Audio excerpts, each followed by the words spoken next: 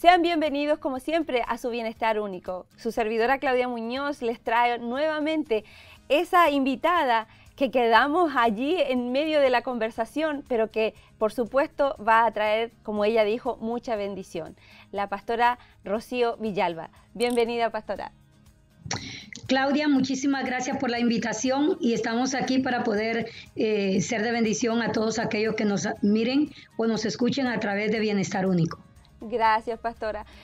Cuéntanos un poquito, eh, yo sé que esto es, eh, son muchos años de sufrimiento, de, padecer muchas aflicciones, pero ¿qué te llevó a escribir el libro, pastora?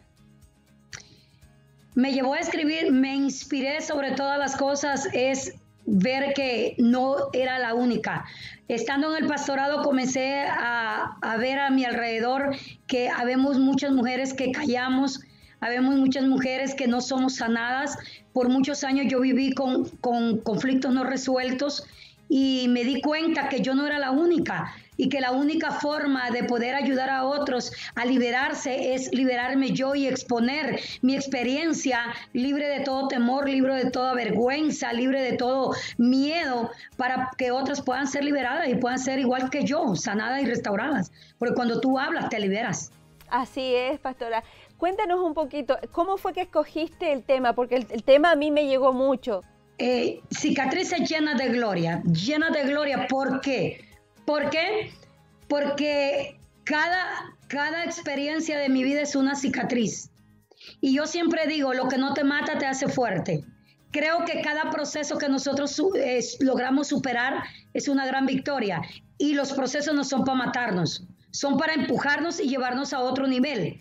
Los procesos solamente son el trampolín que te llevan al éxito. ¿Cómo tú vas a poder tener éxito en la vida si no has superado obstáculos? No conozco nadie que sea coronado sin pelear la batalla primero. Entonces, por lo tanto, para mí, cada cicatriz produce gloria porque cada cicatriz representa el amor de Dios representa su victoria en mi vida, representa su misericordia, representa, hay, hay tantas cosas que, que quisiera exponer y decir y creo que no existen palabras por eso puse gloria, porque para mí la palabra gloria es la expansión de todo.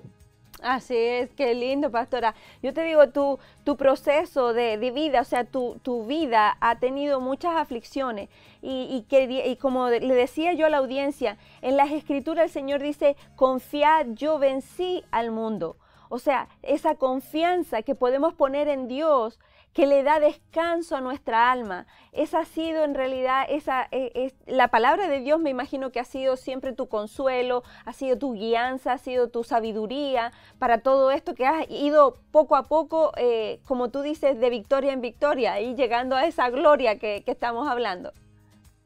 Amén. Sin embargo, eh, creo que lo decía la semana pasada acerca de, de, que hubo un silencio en mi vida, tres años tres años que yo me aparté de los caminos del Señor y esos tres años yo intenté quitarme la vida muchas veces. Estuve en psiquiatría por casi un año de tratamiento porque no fue fácil poder asimilar y allí yo pude entender que por más que tú busques psicólogos, por más que tú busques médicos, el único médico y el único psicólogo de psicólogos se llama Jesucristo. Qué tremendo, pastora. Así es como yo quiero que la audiencia entienda que las cicatrices, o sea, hay, hay, un, hay un bienestar que necesitamos entender, que es el, bienestar espiritual, que ese es el que nos lleva a en realidad tener un bienestar físico, mental, y, que nos logra tener un alma, nuestra alma llega a tener una paz, como dice la escritura, que sobrepasa todo entendimiento y, yo, lo, yo, lo veo en ti, yo veo que has logrado eh, eh, esto a través de este libro que nos estás regalando para que sea de bendición para mucha gente. Amén. Y viene la película, estamos en los preparativos. Eh, las primeras etapas. Estamos ahora mismo en la logística de preparar todo lo que son los actores. Incluso estamos haciendo algunos cortometrajes porque los estamos desarrollando, capacitando. Nuestro primero, el domingo tendremos la, la primer premier de nuestro primer cortometraje, Deseando los zapatos del pastor, porque aún en el pastorado he pasado de todo. He pasado de todo y te lo resumo así en tres, eh, segundos. Eh, dos preinfartos, eh, división de mi iglesia en dos ocasiones, líderes que se han levantado en contra, en contra de nosotros. Creo que es una experiencia que pasamos todos los pastores. accidente de carro donde tengo prótesis en mi cuello, prótesis en mi rodilla, cáncer dos veces. O sea, he pasado de todo. Y todo eso pues lo vamos a estar plasmando en cortos metrajes. Y el primero, el domingo, tendremos nuestra primer premier de, de primer cortometraje que haremos Deseando los zapatos del pastor. ¿Qué te parece? Eh, oh, la verdad, pastora, que me sorprende porque eh, es impresionante cómo el Señor te ha ido llevando y poder plasmar esto ahora en una película. Eh, lo que tú estás comentando va a tener un cortometraje, pero ¿cómo fue que nació también la idea de la película? Porque estamos viendo, estamos viendo que lo único que estamos viendo en las televisiones ahora mismo, en las redes sociales, es violencia. Y lo único que estamos viendo es asesinatos y muchas cosas más negativas. Que lo único que se ha hecho es aplasmar en el corazón de la gente. O sea, si la maldad se plasma, todas esas películas que estamos viendo que son de carácter negativo, se ha plasmado en una generación que se está contaminando cada día más, ¿por qué no plasmar las victorias? ¿Por qué no plasmar esas cicatrices que producen gloria en la gente y declarar lo que el Señor ha hecho con porque soy una mujer bendecida, bendecida en todos los aspectos. Entonces, eh, ¿por qué no hacerlo? Para que la gente pueda, pueda ser también bendecida y se pueda dar cuenta de que, de que, que yo puedo sacar de una violación, qué saco del abandono de mis padres, qué saco del menosprecio del pueblo. Yo era la hija del pueblo. Yo andaba descalza, yo tenía que robar para poder comer a mis 7 o 8 años y ya era cristiana, pero me estaba muriendo del hambre. Me estaba muriendo del hambre y pasé tanto proceso doloroso. Entonces, ¿cómo yo no decirle a la gente que hay un Dios que no se ha olvidado de ti a través de la película? Yo no puedo llegar a todo lugar, pero la película sí. Maravilloso, pastora. Eh, ¿Y cómo es que están? Eh, eh, mi, inquietud ahora es preguntarte, ¿cómo se te puede ayudar también? Porque creo que es importante también entender que como cuerpo de Cristo ah, hay que unirse hoy como nunca para poder apoyar eh, a personas como tú que están tratando de hacer algo por la sociedad, para que la sociedad, como tú acabas de decir, hemos sido contaminados tanto por tanta violencia, por tantas películas frívolas, por tantas películas que no nos dejan nada, sino que más que nada nos dejan una imagen tan fea de lo que se puede vivir en realidad como, como lo que eh, eh, el resultado de una vida con Cristo. Pues mira, nosotros tenemos una fundación, FAS Jesucristo Vive Corporation. Es una fundación donde tenemos 117 niños en Perú, un comedor de 117 niños en Perú, que por el momento está cerrado, tú sabes, por lo de la pandemia. Tenemos también eh, eh, casi 100 niños en, en, el país de Honduras. Estamos trabajando en Honduras, tenemos hijas iglesias allá. Entonces, esta película está haciendo ya con ese fin, con ese fin de poder ayudar a esta fundación. Estamos ayudando en Panamá, estamos ayudando en México, estamos yendo en El Salvador, en diferentes partes de, Latinoamérica.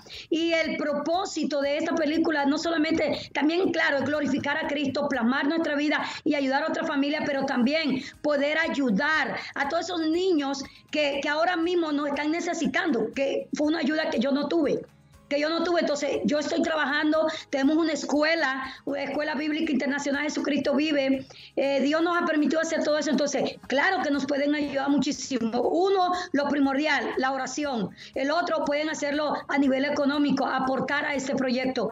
A nivel económico, eh, otro, si tienen talentos, donar su talento, porque nosotros pues es la, la, primicia que se la queremos entregar al Señor. Tengo algunos actores que me han dicho, Pastora, eh, hay un actor profesional, me dijo, Pastora, yo dono mi servicio, yo dono mi talento, yo voy a, donar mi tiempo para poderte ayudar para este proyecto y estamos necesitando que si hay actores cristianos o no cristianos que puedan venir y apoyar este proyecto, porque el fin es una causa, nuestra comunidad. No lo estamos haciendo a nivel interno, cerrado únicamente para la iglesia, sino nosotros no ayudamos, Claudia, solamente a la iglesia. Nosotros ayudamos sin importar etnia, color, raza, religión. Yo ayudo tanto a ateos como a cristianos. Yo ayudo tanto a bautistas como a Asamblea de Dios, a Iglesia Apóstol y Profeta. Yo no, yo no miro su condición, su religión, porque el Señor no me ha mandado a eso. El Señor me ha mandado a suplir una necesidad.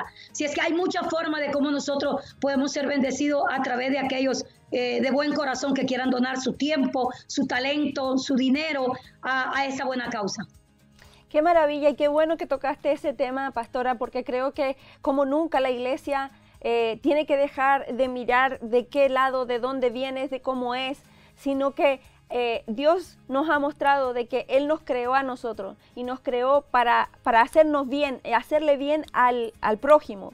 Y muchas veces nosotros si podemos hacer eso, de entender en nuestro corazón de que hay una necesidad como la que tú viviste de niña, y, yo te digo, en, los países lamentablemente donde eh, los gobiernos no han ayudado a, su, a sus semejantes, sino que han hecho de ellos prácticamente muchas veces eh, el, surtidor de sus riquezas, pero que no han sabido realmente eh, valorar a su gente y, hemos, ahí es que Dios ha puesto su mano para gente como tú que quiere realmente volver a, poder producir algo que valga la pena en los países estos que han, han sufrido y ahora lamentablemente también está sufriendo eh, las tormentas que han estado tocando en estos países y que de verdad rompe el corazón ver cómo la, la, pobreza, la falta de recursos y, y siendo países ricos, que eso es lo más tremendo.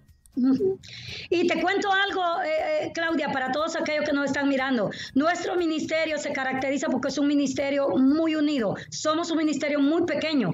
Y para cada proyecto que nosotros hacemos, nosotros vendemos comida en las calles. Nosotros salimos a las calles, pronto estamos preparando un documental.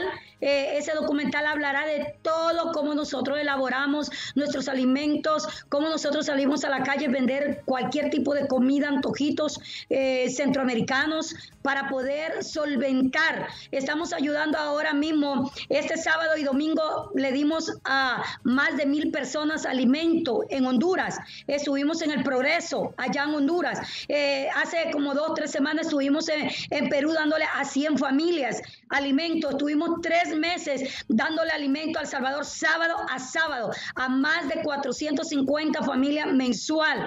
Y toda esa finanza nosotros no recibimos ayuda.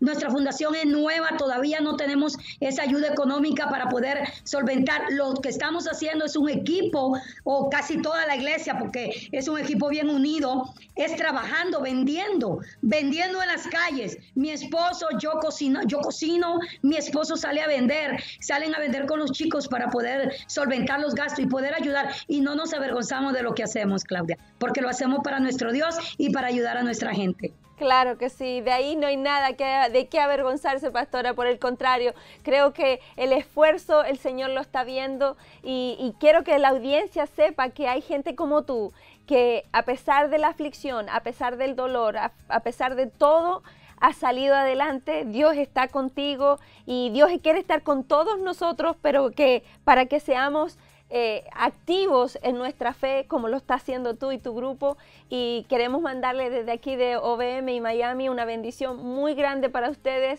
Queremos que de alguna manera seguirlos apoyando.